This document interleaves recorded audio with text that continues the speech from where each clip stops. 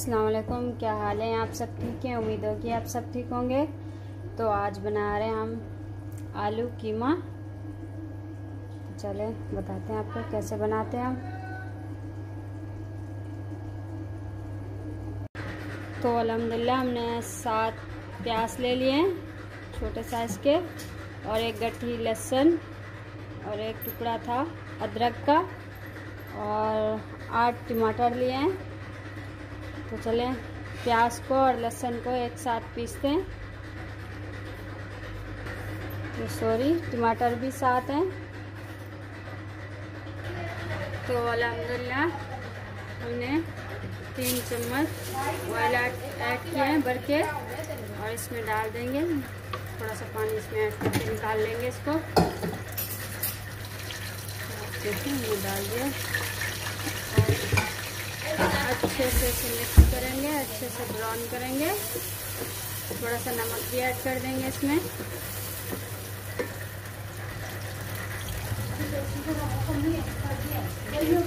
चम्मच भर के नमक ऐड कर देंगे। इसे मिक्स करेंगे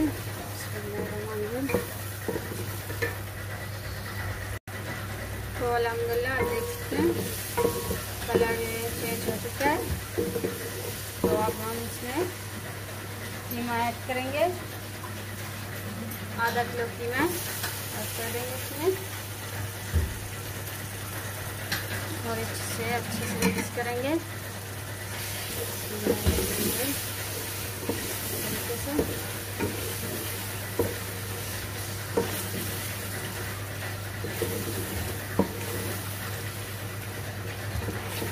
इसे पाँच मिनट तक भूनेंगे अच्छे से। उसके बाद बताते हैं आपको क्या करना है। तो अलहमदिल्ला पाँच से छः मिर्चें थी, उसको कट लगा के ऐड कर देंगे इसमें। करेंगे अच्छे से।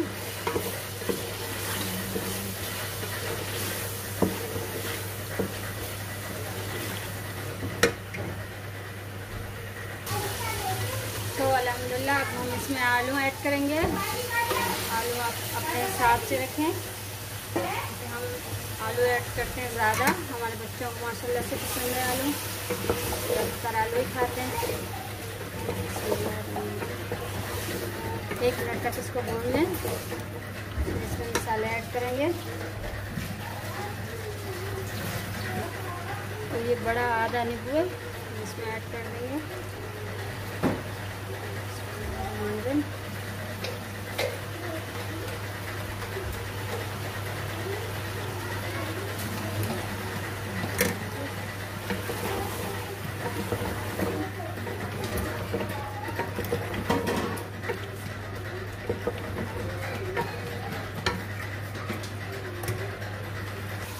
तो अब हम इसमें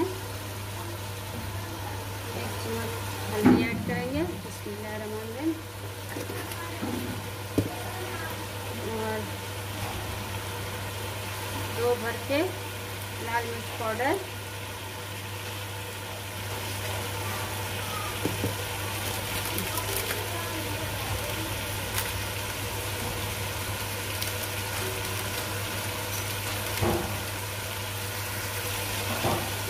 एक चाशा है। कीमा मसाला ऐड करेंगे इसमें।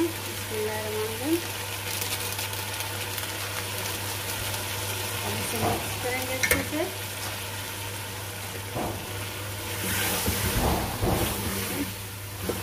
नमक हमने पहले ही ऐड किया था।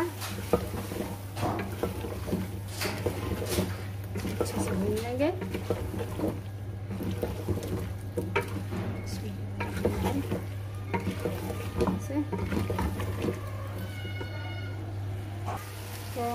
चम्मच इसमें।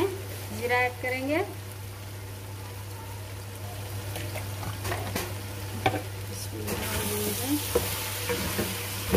अच्छे से।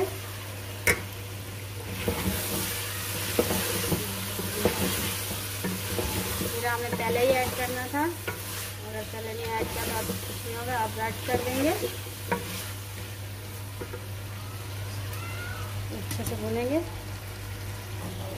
तो आप अब जो इसमें हम टमाटर ऐड करेंगे, टमाटरों को भी हमने पीस लिया था। इसमें थोड़ा सा पानी डाल के निकाल लेंगे अच्छे से।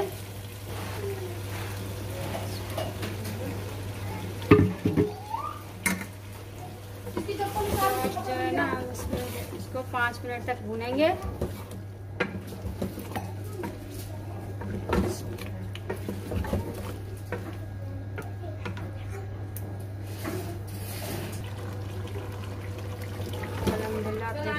इसको। अब जो है हम इसके नीचे प्लेट रखेंगे। और बताते हैं आपको।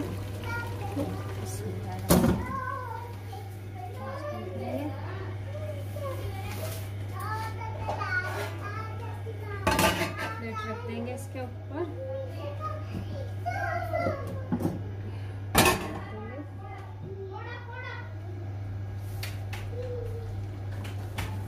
जो है हम इसे हल्की आँच पे 20 से 25 मिनट तक दम पे रखेंगे और वक्फे वक्फे से चम्मच भी चलाते रहेंगे। कवर कर देंगे अब।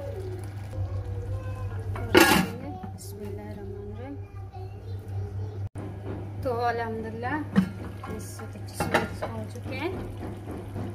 अब इसे चेक करेंगे। तो आप देख सकते हैं ऑयल भी निकल चुका है इसका। तो अब हम डिश आउट करके दिखाएँगे आपको।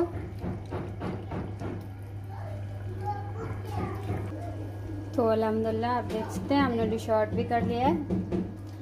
तो अगर हमारी रेसिपी अच्छी लगी हो तो लाइक करना शेयर करना सब्सक्राइब करना। दुआओं में याद रखना। अल्लाह हाफिज़।